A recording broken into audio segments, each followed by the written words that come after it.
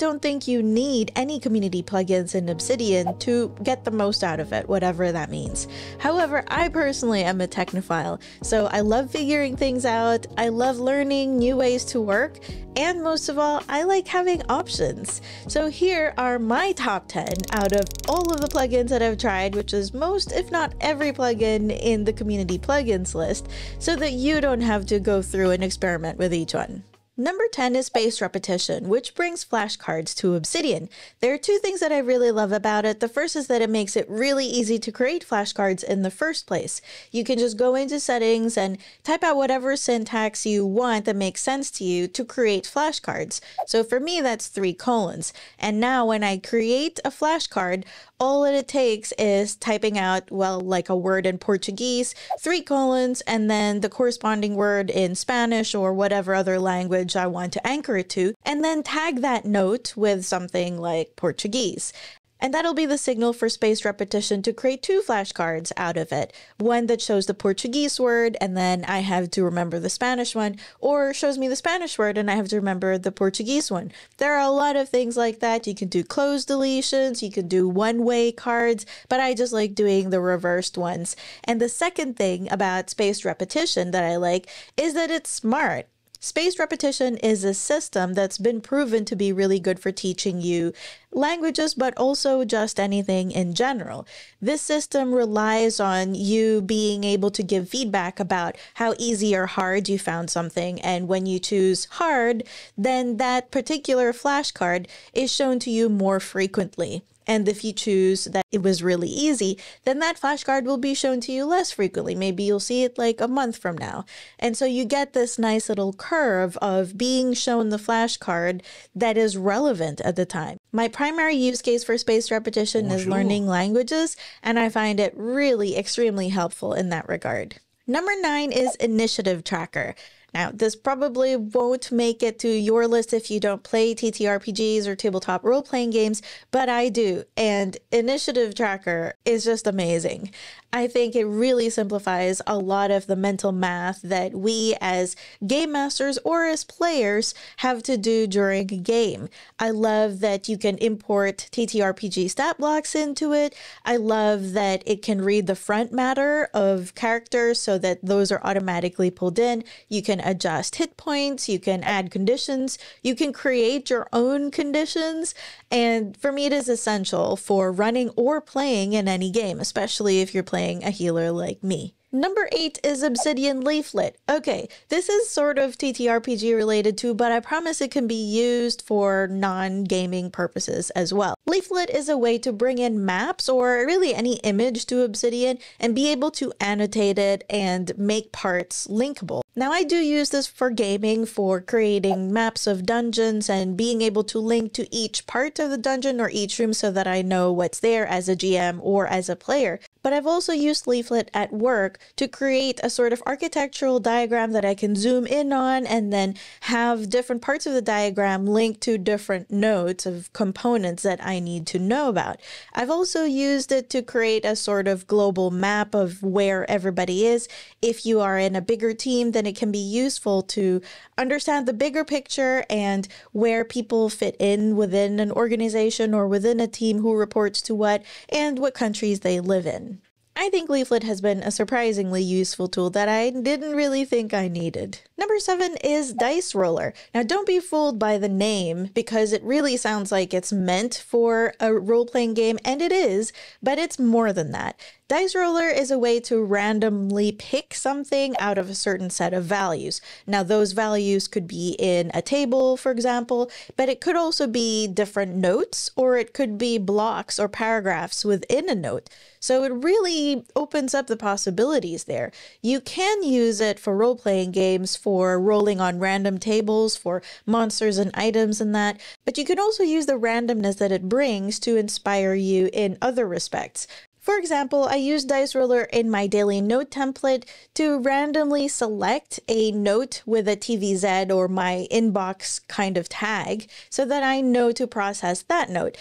It's just a different way to explore your note. And the best thing is it's not completely random. You can do it by tag as well. So if you're looking for something in particular, it'll only roll on those things. I really love using randomness to spark serendipity when I'm learning something or when I'm thinking very deeply about a particular topic. Number six is Readwise Official. Sometimes I feel like a shill because I mention them so much, but I really do love them. I've been using them for years. When they came out with this integration, I was over the moon because I'd already written my own Python implementation using the Readwise API to bring in my highlights into Obsidian. The Readwise official plugin is so much better and less janky than what I did, but it does the work of bringing in my highlights and just the important parts of the things that I read or listen to, or tweets and Mastodon toots that I see, and putting them in my Obsidian Vault. I also love that I can customize the format of the note so that when they're imported in, they're imported with all of the tags that I would want, including my TVZ tag, which means to verzetten or to process. And having that degree of control means that I'm much more likely to find and process that information. Number five is periodic notes. Now, I love the Daily Notes core plugin, but it is one of the ones that I would immediately replace with periodic notes because periodic notes is daily notes and more. Daily notes allows you to create a template, but it's only for every day. Periodic Notes does that, but it also lets you set templates for weekly, monthly, quarterly, and yearly goals. And I really love that it lets you create different sets. So I have one set that's just for personal stuff, and then another set that's just for work. And they don't have to be the same either. So I have like daily, weekly, monthly, and yearly for my personal ones, but for my work ones, I only have quarterly ones because we have quarterly objectives. So I love that I can switch between them and just have everything really consistent. And that way, when I open up this week's note, for example, I already automatically bring in the stuff from the last week. I did a whole video on this, so go ahead and watch that if you'd like to learn more. But yeah, huge fan of periodic notes. Number four is Excalidraw. We're really getting into the big hitters here, all the things that I've already made videos on, but for good reason.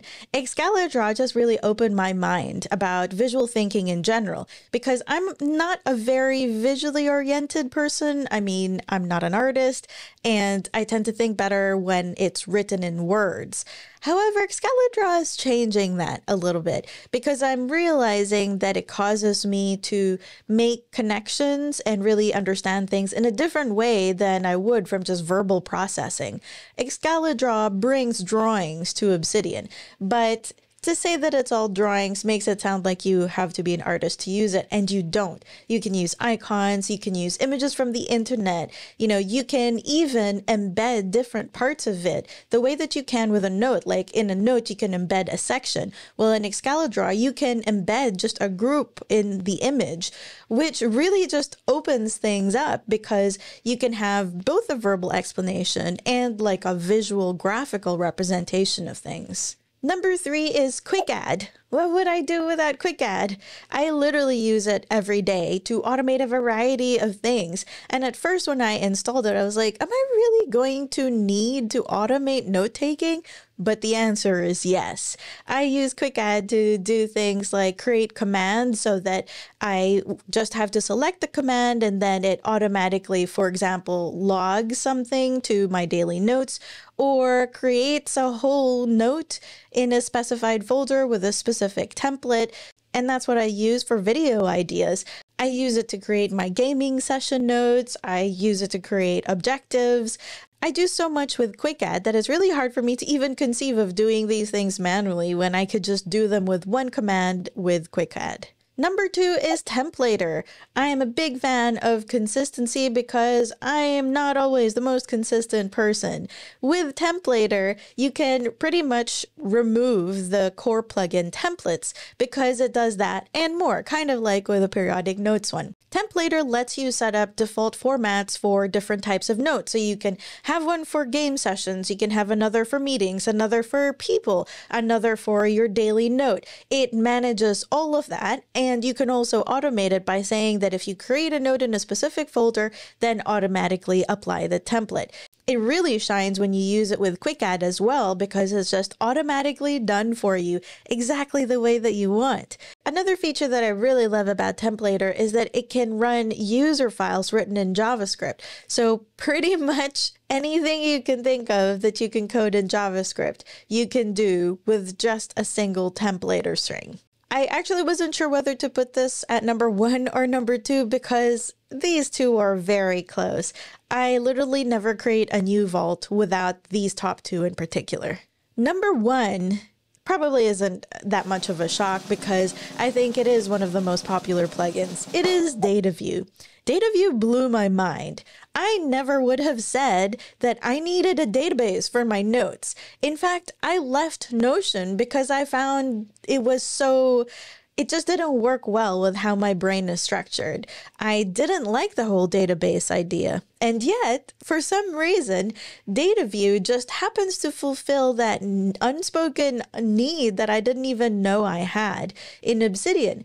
What it does is it lets you create front matter for your notes. So you can have notes wherever they are, wherever you want them in your vault. And you can create front matter and values to them. So you could have things like the type or the date or the location of a person or something like that and you can query all of them. You don't have to set anything up in advance. You can add them later on if you didn't set up the front matter before. There are so many things that you can do with DataView.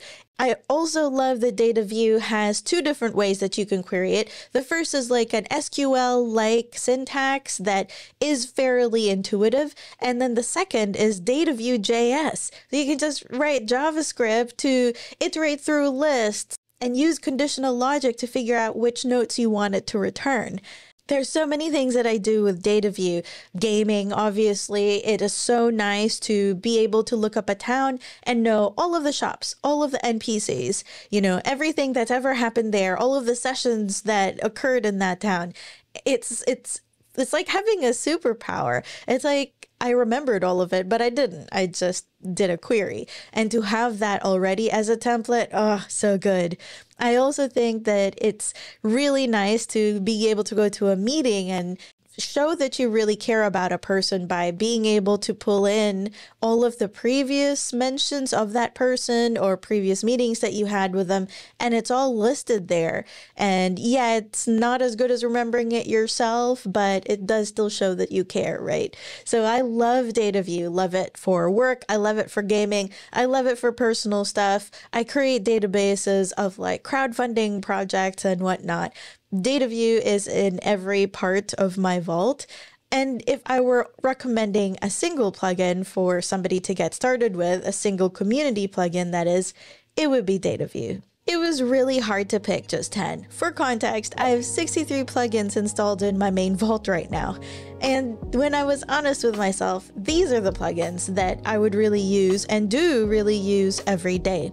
If you'd like to learn more about these plugins, I've listed them all in the first pinned comment down below, along with some resources and links to videos that might help you get started with them.